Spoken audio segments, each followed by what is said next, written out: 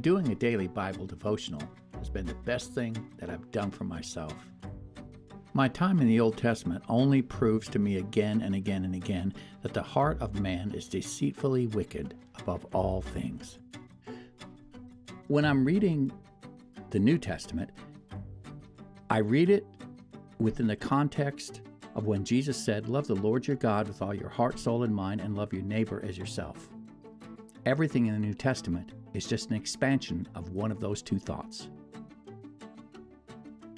Those are the two lenses through which I think with my mouth open as I read through the Old and New Testaments. Join me, won't you, for another adventure in Coffee, the Bible, and Paige.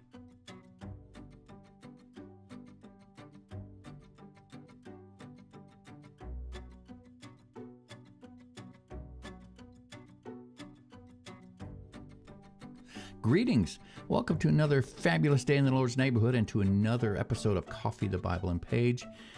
I am Paige, your caffeine imbued host. Here's my coffee. Mm. In the beginning, coffee and low, it was very, very good. Well, we are going to continue our jaunt into First John. We're up to chapter 4. And just again, to keep the context clear, uh, I've discovered for my own personal devotionals that I have to continually keep in mind the framework, the contextual framework that I'm working within when I'm reading something, so that I can get as close to the original intent of the author as possible. Um, now, I'm not a biblical scholar, so uh, I'm not going to get this perfect, but here's my understanding where we're at with John. Things are starting to get pretty screwy theological wise in the church. And John is at the end of his life and he wants to he wants to attack these things and to reinforce what he has been teaching his entire life. There are some teachers beginning to teach that the God of Jesus isn't the God of the Jewish scriptures. Israel's God, the God of the Jewish scriptures, is vengeful, vindictive, and capricious. Israel's God is not the God of Jesus. That's what these teachers were teaching. The God of Jesus is kind and benevolent. Now, on the offset, hey, that looks that might look good. It might look okay. What's the big deal? The big deal is it gives these false teachers all the excuse they need to dismiss everything connected with the God of Israel, which includes Torah, which includes synagogue worship, temple worship, the law and the prophets. If they can get rid of that, then they can invent whatever they want to invent. They can redefine the Christian faith, they can redefine Christian worship uh, in, in whatever manner they want.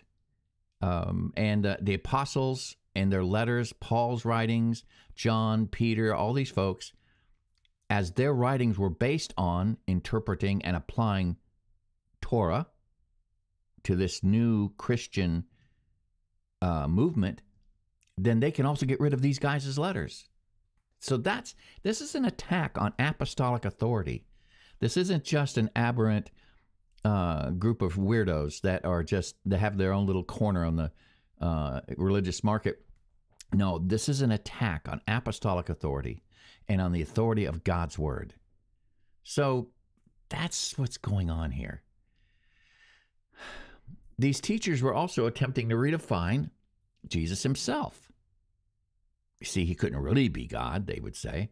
They would come up with all kinds of incredulous ways of trying to define him. And John attacks that time and again in his gospel and his epistle, clearly saying that Jesus is God. Not only that, Jesus is God in the flesh and is absolutely the God of the Old Testament. You remember his first gospel? In the beginning was the Word, and the Word was with God, and the Word was God. He was with God in the beginning. Through him, all things were made. Without him, nothing was made that has been made. And later he would say, And the Word became flesh and dwelt among us.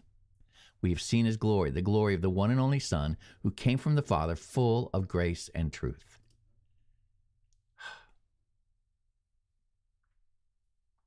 John is going to circle his wagons around a couple very, very basic truths, and he's hammering at this thing time and time again in this epistle.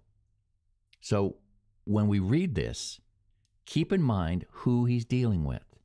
He's dealing with these false teachers that would want to redefine Jesus, that would want to uh, dismiss Torah, what we or what we would call the Old Testament, the Law and the Prophets. Um, they want to emphasize their authority based on their visions, on their uh, supernatural revelations, and therefore remove the authority of the apostles from the church. That's the battle that John is, is in. So let's get started. Let's look at the first three verses. Dear friends, do not believe every spirit, but test the spirits to see whether they're from God, because many false prophets have gone out into the world. Now, this is how you can recognize the Spirit of God. Every spirit that acknowledges that Jesus Christ has come in the flesh is from God. But every spirit that does not acknowledge Jesus is not from God. This is the spirit of the Antichrist, which you've heard is coming and even now is already in the world. I used to hold a Bible study. One of the guys had invited a girl he was dating to the Bible study, and it's easy to see why he was dating her. She was gorgeous. But at the beginning of the Bible study, she did something very curious. She took out a small board that she had in her purse, and then she took out some fruit she had, and she started arranging the fruit in a very specific pattern on this board. Now, I was at the time studying Eastern religions in order to understand them more completely. I didn't know everything about everything, but I knew what she was doing. She was setting up an altar. I asked her what she was doing. She readily admitted that she was setting up an altar. I asked her to please put that altar away as this was a Bible study. I told her that we were going to be discussing Jesus, and she said, Oh, I love Jesus. So I asked her, Well, then who is Jesus? She responded with a rambling diatribe about how he was a great teacher, a holy man, etc. I then asked, Yeah, but is Jesus God? I couldn't nail her down. She wouldn't answer the question. See, John just said in verse 3 of the chapter that every spirit that does not acknowledge Jesus is not from God. Now, if I remember correctly, the, the results of this, this is back in 1976 or 77, she got very disruptive and angry. And her boyfriend took her home. Later, I talked to him and told him, look, she's not from God. I went on and told him that there was something spooky and wrong about her and asked him to not bring her back to the Bible study. As I was a very young Christian myself at that point, I was unaware of what demonic possession looked like and didn't realize until later that she was demonstrating many of the traits of someone who is under demonic possession. All I knew at the time was that she would not recognize Jesus as God, and she became very agitated and combative when asked about Jesus. You see, the enemy of our soul will say all sorts of nice and wonderful things about Jesus holy man, great teacher, illuminary, etc. But the enemy will not come out and confess that Jesus is God and has come in the flesh. This strikes at the heart of the false teachers that John is addressing. Now, verse 4 you, dear children, are from God and have overcome them. Now, I wonder if the reason these heretics left the church, in chapter 2, we see that happening, is because the true believers in the Ephesian church stood so strongly for the truth that the false teachers and believers had no choice but to leave. Just a thought. Because the one who is in you is greater than the one who's in the world. They are from the world and therefore speak from the viewpoint of the world, and the world listens to them. We are from God. And whoever knows God listens to us. But whoever is not from God does not listen to us. This is how we recognize the spirit of truth and the spirit of falsehood. Hmm. I know that there are some brilliant people outside of Christianity. They display marvelous wisdom in the sciences, philosophy, literature, music, religion, etc. Sometimes, however, they take all of that brilliance and they attempt to interpret our faith in order to make it make sense to them, or sometimes even to outright attack it and discredit it. To the unbelieving world, what they say makes sense, And, and when people like that are found to be in leadership positions in the Christian church, there's no end to the confusion and division that they can cause. And trust me, there are those like this in leadership in some of today's churches.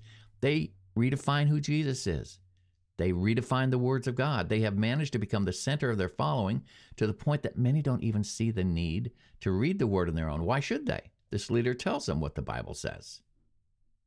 Hmm. John goes on to say, they are from the world and therefore speak from the viewpoint of the world, and the world listens to them. You see, the absolute best defense and offense against this is to be absolutely clear about who Jesus is. Remember John's words the Word was with God, the Word was God, the Word became flesh, dwelt among us. I know I keep bringing that up, but that's the heart and soul of what John's preaching and teaching in this epistle. He's telling his people look, the spirit of the Antichrist will not recognize that Jesus is the way, the truth, the life. It won't recognize that no one comes to the Father but by him. The world says all mountains point to the sky, all rivers run to the ocean, which is simply their way of saying Jesus is a way, but not the way. But that is not what Jesus says. That's not what John says. John says Jesus is God. The world won't say that. But the simple truth is this Jesus is God. Dear friends, let us love one another, for love comes from God. Everyone who loves has been born of God and knows God. Whoever does not love does not know God, because God is love. And this is how God showed his love among us. He sent his one and only Son into the world that we might live through him. This is love, not that we loved God, but that he loved us and sent his Son as an atoning sacrifice for our sins. Dear friends, since God so loved us, we ought also to love one another. No one has ever seen God. But if we love one another, God lives us, and his love is made complete in us. Wow, what's John saying here? You know, I heard an old rabbi once concerning how he read the Ten Commandments and understood the Ten Commandments. Pretend it's God speaking. If we have relationship, you and I, then as a result of that relationship, you will have no other God before me. The rabbi was saying that obedience to the law springs from a proper relationship with Jehovah. If I am in relationship with God, my desire will be to obey him. See, in this passage that we just read, John is reminding us of the central part that true love plays in the church. The example he gives us is how God himself demonstrated his love for us. This kind of love has a sacrificial center to it. God showed his love by sacrificing his son for us, John is calling the Ephesian believers to practice this sacrificial, put other people's needs before our needs kind of love. A true believer will not walk away from his or her brother or sister in Christ. This is in contrast to what we just saw in Ephesians in the Ephesian church as discussed in chapter 2 where there was a group of people that left them. A true believer will not walk away from his brother or sister in Christ. You see, love comes from God. Everyone who loves has been born of God and knows God. We have a relationship with Him, so we love them. We have a relationship with God, so we love Him. What have we been saying through the entire Gospel of John in this epistle? The central truth of John's message is love God, love your neighbor. That's what Jesus said as well. Jesus, when asked, What's the greatest commandment? He said, That's easy. Love God with all your heart, soul, and mind. And the second one is like it love your neighbor as yourself. Upon these two hang all the law and the commandments. This is how we know that we live in Him and He in us. He has given us of His Spirit. And we have seen and testified that the Father has sent His Son to be the Savior of the world. If anyone acknowledges that Jesus is the Son of God, God lives in them and they in God. And so we know and rely on the love of God, the love that God has for us. He said, John is basically saying, here's another litmus test. If someone's really of God, they recognize and confess, they acknowledge that Jesus is the Son of God. Now he goes on, talks more about this love thing. God is love. Whoever lives in love lives in God, and God in them. Mm, this is how love is made complete among us, so that we will have confidence on the day of judgment. In this world, we are like Jesus. How is love made complete? Well, love like Jesus did. You know, I'm going to say it, but this is a central truth I'm constantly being reminded of between John's gospel and this epistle. Love God, love your neighbor. John goes on to say, There's no fear in love, but perfect love drives out fear because fear has to do with punishment. And the one who fears is not made perfect in love. There's no fear in love. There's no fear of losing your relationship with God. Why? Because God loves us. He's not going to divorce us. False teachers, in my observation, sometimes use fear to control and subjugate their followers. But in God's church, fear is not used as an incentive to remain in his family. A true Christian teacher won't be saying stuff like, if you don't do this or that, or if you don't believe this or that, if you follow anyone else but me, your salvation's in jeopardy. You'll never hear that from a God fearing church or a God fearing teacher. I've heard all of that at one time or another in my lifetime, and they were hearing that in the first century church. I have heard with my own ears church leaders say things like this. Probably the most stark example of something like this would be um, Jim Jones. You can go Google him. Uh, he started off as, as a minister of the gospel, preacher.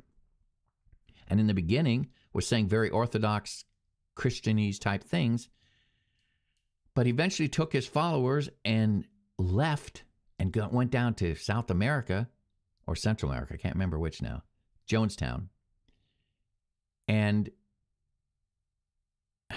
he got all his followers to drink poison and die with him. That's the false teacher. And he looked and sounded the part in the beginning, but he left the body because he wasn't a true believer. And he just absolutely epitomized the statement. If you don't do this or that, if you don't believe this or that, if you follow anyone else but me, your salvation's in jeopardy. That was Jim Jones. Whoever lives in love lives in God, and God in him. This is how love is made complete among us, so we have confidence in the day of judgment. In this world, we are like Jesus. Because of this, of this relationship I have with God, I'm not afraid of what happens when I die. There's no fear. Love is complete in me. When this body quits working, I will not be in fear of what God will say. I know what God will say. He'll say, Well done, good and faithful servant. And I am looking forward to that day. Verse 18, John says, The one who fears is not made perfect in love. I had a friend of mine who believed that if he went to bed at night and forgot to confess a sin committed during the day and he died in his sleep, he would go to hell. He lived in constant state of fear and agitation, constantly on the lookout for things that could be sin in his life, and there was no love or joy there. He believed that his relationship with God was founded on his ability to obey the laws of God. John says in verse 19, We love because he first loved us.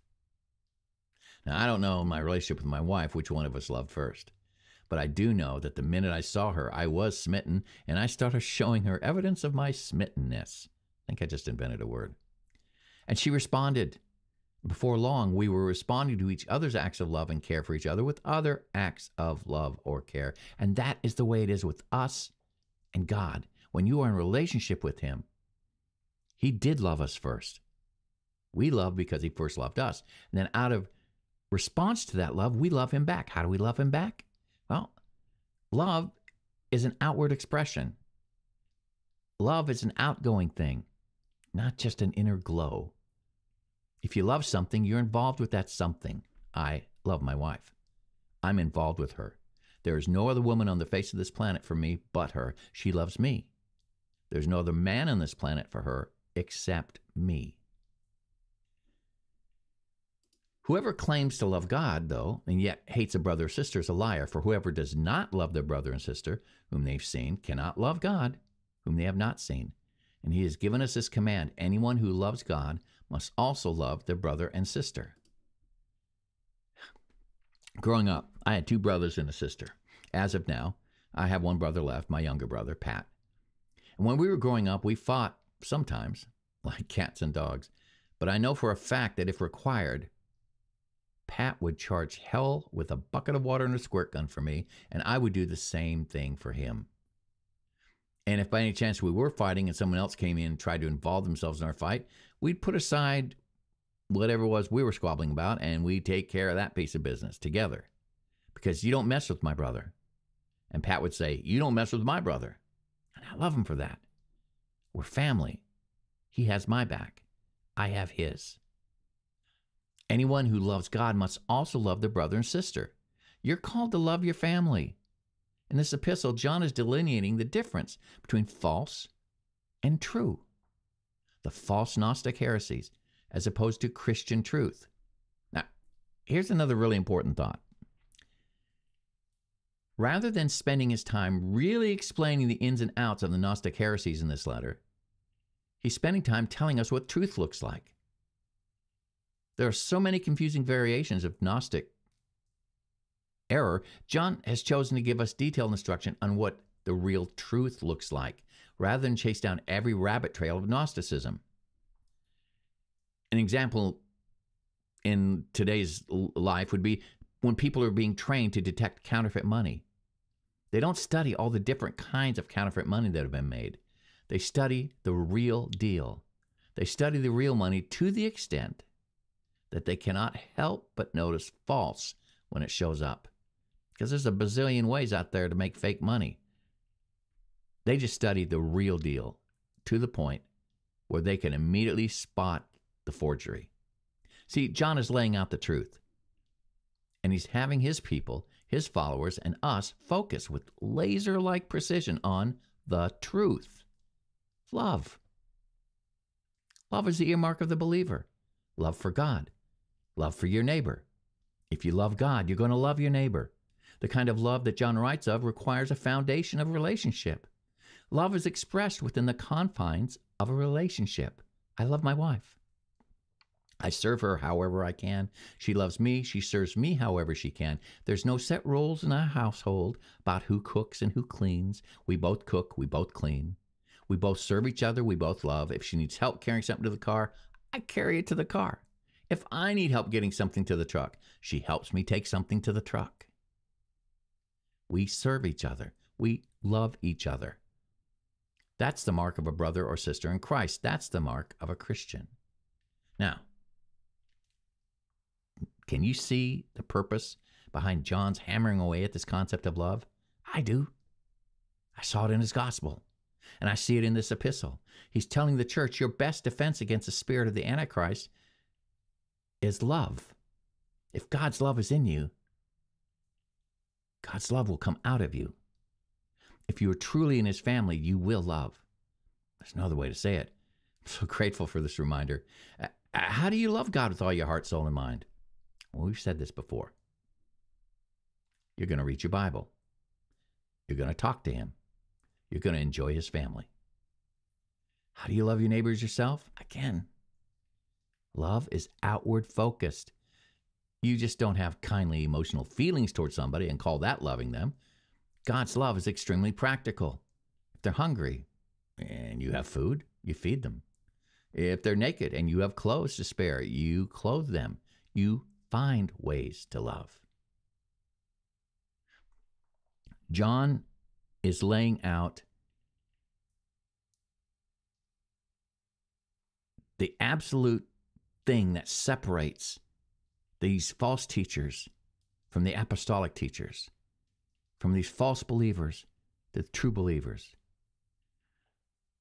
One of the earmarks of this group of people that left the church, and I've seen it in my own personal life in churches that have gone through church splits, it's hatred that produces divisiveness. Hatred causes people to leave. Anger causes people to leave. Love implores people to stay. The mark of a true believer is that he loves God and he loves his neighbor. The mark of a true believer is that he recognizes the authority of God's words, which in this first century would have been the law and the prophets.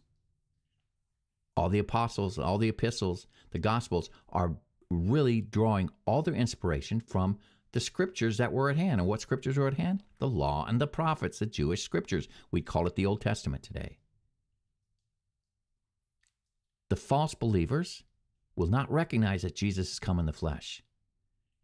True believers, true teachers will not seek to redefine Jesus.